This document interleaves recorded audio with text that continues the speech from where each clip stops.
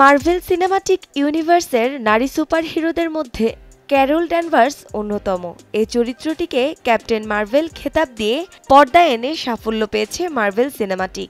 এই চরিত্রে মার্কিন অভিনেত্রী ব্রি লারসন অভিনয় করে দুনিয়া জুড়ে জনপ্রিয়তা পেয়েছেন। তবে সম্প্রতি মার্ভেল পরিকল্পনা করেছে তাদের পরবর্তী সিকুয়েলে ক্যাপ্টেন মার্ভেল চরিত্রে পরিবর্তন নিয়ে আসবে তারা। তার চরিত্রে নতুন নারী সুপারহিরোর কথা ভাবা হচ্ছে। ভাবা হচ্ছে নতুন অভিনেত্রীর কথাও। যে কারণে দেখা যাবে না লারসনকে। জায়ান্ট ট্রেকিং রোবটের প্রতিবেদন অনুসারে ক্যাপ্টেন মার্ভেলের পরিবর্তে নতুন নারী সুপারহিরো হিসেবে মার্ভেল স্টুডিওর পছন্দ কামালা খান ও মনিকা রামবেউ।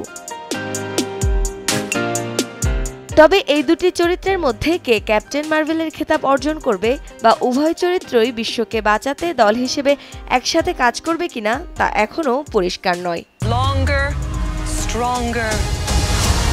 Superior.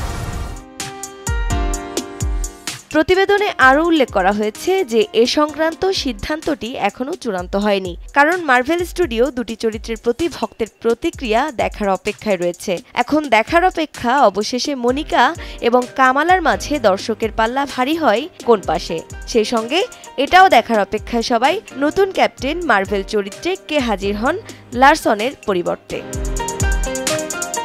প্রান্তি সারোয়ার সময় সংবাদ ঢাকা।